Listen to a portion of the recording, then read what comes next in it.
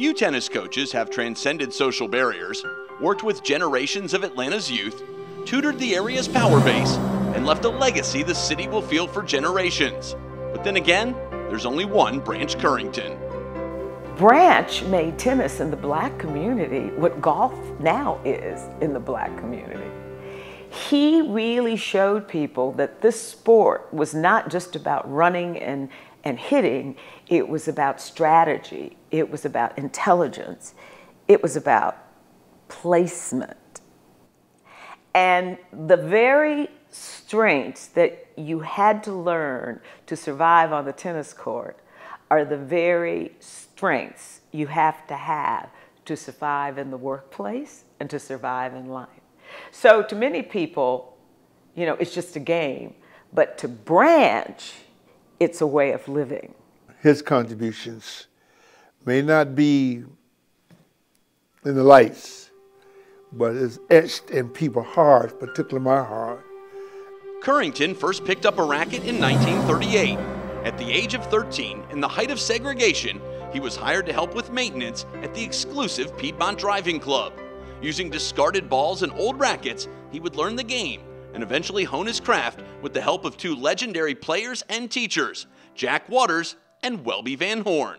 Branch worked, you know, learned under both of them, learned how to teach under both of them, and uh, I think that's that's that's how he gained all of his uh, his expertise and knowledge under those two great teachers.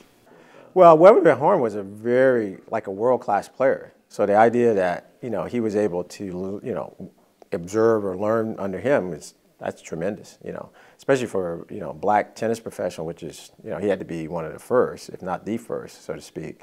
After serving in the Army during the Second World War, Currington returned to Atlanta and became the head court attendant at the Piedmont Driving Club. He also mentored a troop of young black ball boys and got the club's blessing to teach them how to play in his spare time. Many he mentored went on to play college tennis. One of his favorite quotes was, there's no such thing as a bad, a bad boy or a bad child. He never gave up. And he treated his son with that type of love and consideration. And so I think he made a difference. Under Van Horn, Currington later rose to the position of assistant teaching pro. But in the mid 1950s, when it became clear he had little future as a pro in the Deep South, he stepped away from the game, but he was never forgotten.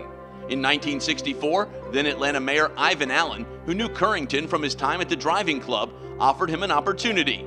He could now run the new Washington Park Tennis Center, a facility that would attract notable players and tournaments. When Branch left um, the driving club, I think it, it was in an era of still there was segregation, and you know, and for he knew how good he was, I think, in tennis, and but but it just wasn't happening, and so he, he got out of tennis, and we were very fortunate that when Washington Park opened up and uh, people remembered him and brought him back there, that I think it was very fortunate for so many people that that happened.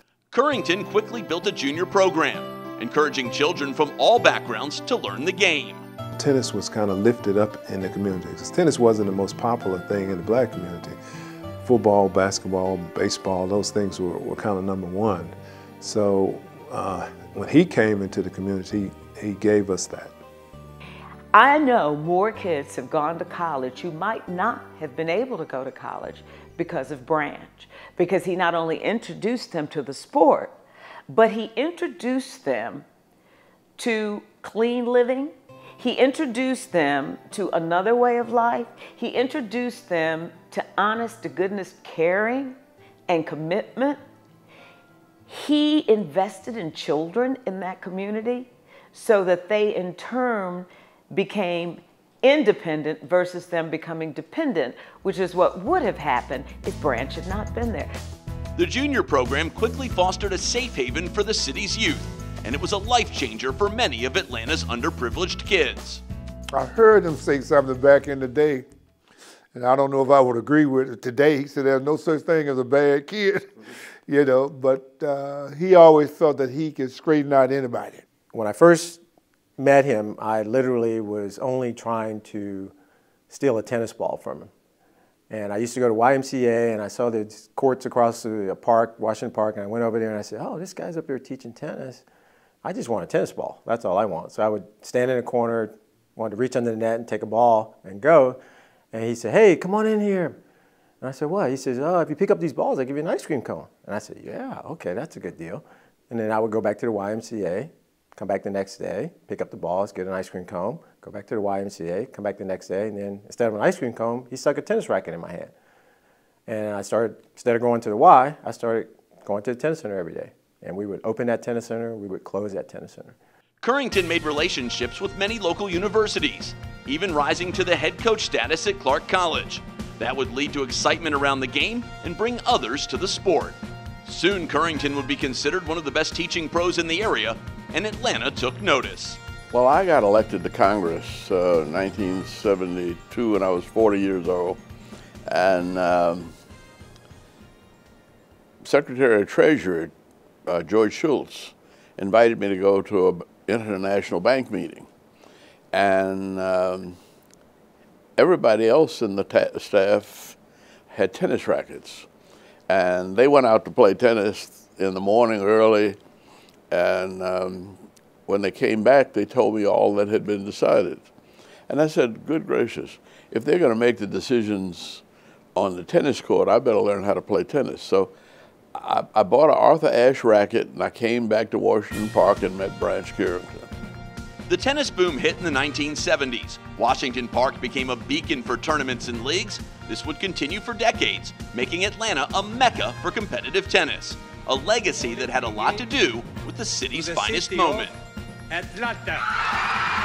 That was one of the things that impressed the Russian delegates when they came here to look for the Olympics.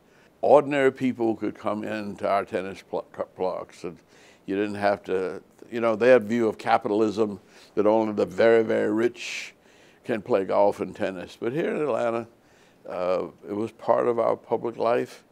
It was part of our social life.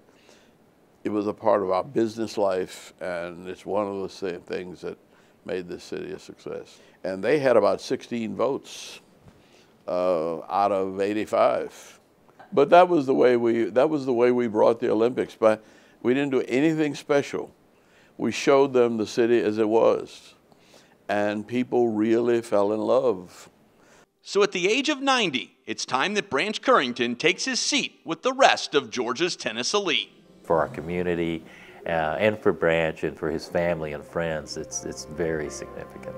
He is an amazing man in more ways than one. I am just really happy for him. And I'm happy because so many people die and they never know how they were valued by other people. Branch now knows how he's valued, why he's important, and why, quote, we love him. Congratulations to Branch Currington, a 2016 inductee into the Georgia Tennis Hall of Fame.